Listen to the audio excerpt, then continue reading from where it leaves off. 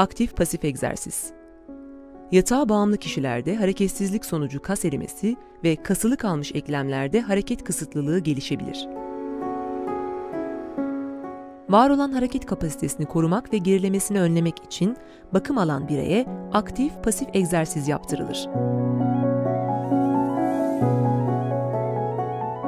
Bakım veren, bakım alana sırasıyla şu egzersizleri yaptırır.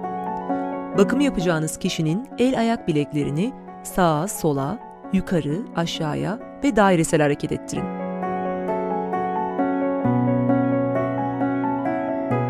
Bakım yapacağınız kişinin kasılmaları fazlaysa ilgili kasları gevşetmeye çalışın.